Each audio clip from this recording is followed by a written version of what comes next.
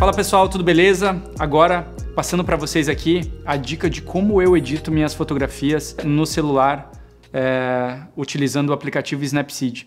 Esse aplicativo é gratuito tanto para iOS quanto para Android. Então, se você ainda não tem esse aplicativo no celular, ele é um aplicativo bem útil para fotografia com smartphone, baixa lá.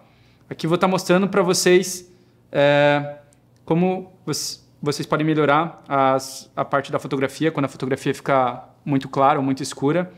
E o melhor enquadramento para postagem também, eu vou estar tá passando essa dica aqui.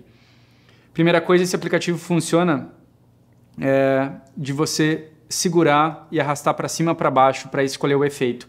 Então eu vou colocar em ajustar imagem, estou rodando para cima para baixo aqui. Essa foto está subexposta, faltando um pouco mais de luz e eu vou dar um brilho a mais e vou aumentar também as sombras.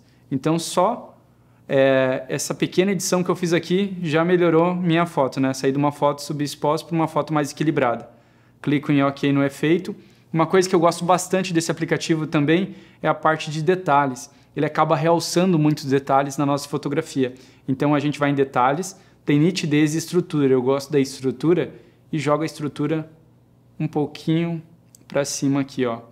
Mais 52. É importante que quando a gente quer o efeito, a gente arrasta para cima e para baixo. E quando a gente quer é, aumentar esse efeito, a gente joga para a direita ou para a esquerda. Então eu coloquei um pouquinho mais de estrutura aqui, entre 40 entre 50.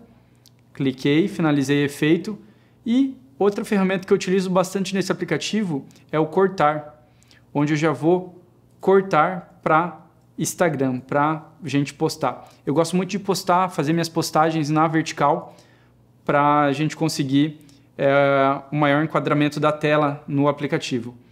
Então, antes de cortar, eu vou também girar, porque eu vou postar dessa maneira. Então, eu giro minha imagem finalizo o efeito e vou lá em cortar. Cortar, eu uso esse corte 5 por 4 que na verdade eu vou utilizar aqui para inverter esse corte e ficar 4 por 5. E aqui eu finalizo.